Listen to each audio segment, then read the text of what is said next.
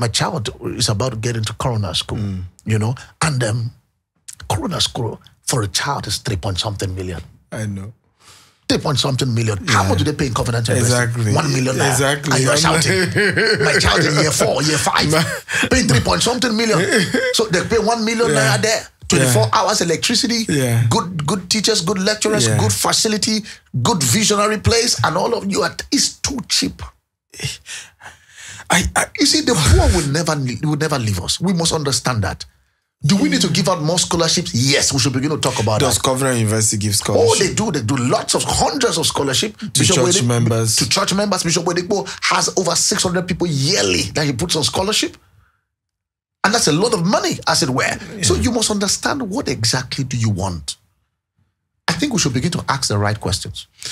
I mean, How many people have given have given us good uh, free schools Yeah. and they have maintained great standards?